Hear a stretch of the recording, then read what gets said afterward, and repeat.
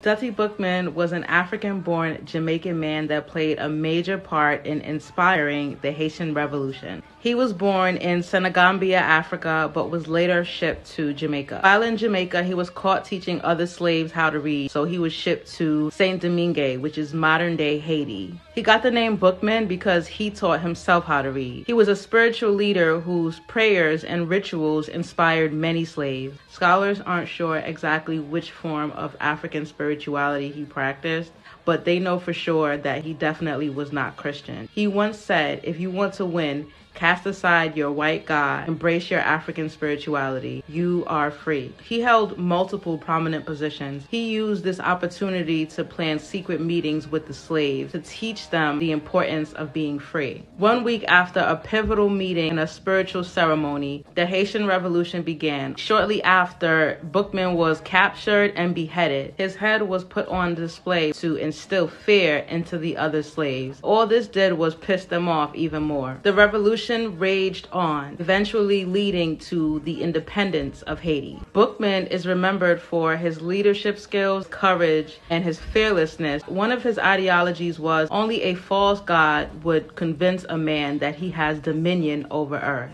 He believed that man should live harmoniously with the earth because everything on earth is precious and important.